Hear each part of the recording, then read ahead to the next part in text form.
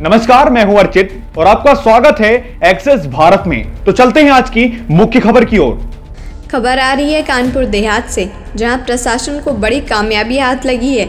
आपको बताते चले कि पैंसठ किलो अवैध गांजे के साथ तीन अभियुक्त गिरफ़्तार करे गए हैं। यूपी विधानसभा चुनाव के मद्देनजर कोतवाली भोगनीपुर पुलिस द्वारा चलाए जा रहे चेकिंग अभियान के दौरान कानपुर देहात जालौन सीमा के पास जब चेकिंग का कार्य जोरों से चल रहा था उसी दौरान कोतवाली भोगनीपुर इंस्पेक्टर राजेश सिंह को मुखबिर द्वारा सूचना मिली कि दो फोर व्हीलर गाड़ियों में तस्कर अवैध गांजे की तस्करी कर रहे हैं। फोर व्हीलर गाड़ियों से जा रहे हैं, जहाँ पुलिस ने बैरिकेडिंग लगा के दो गाड़ियों समेत तीन लोगों को कब्जे में लेकर गाड़ी की चेकिंग की, जहाँ दोनों फोर व्हीलर में पैंसठ किलो गांजा समेत एक अवैध असलहा बरामद करते हुए तीनों अभियुक्तों को गिरफ़्तार कर विविध कार्रवाई में करी।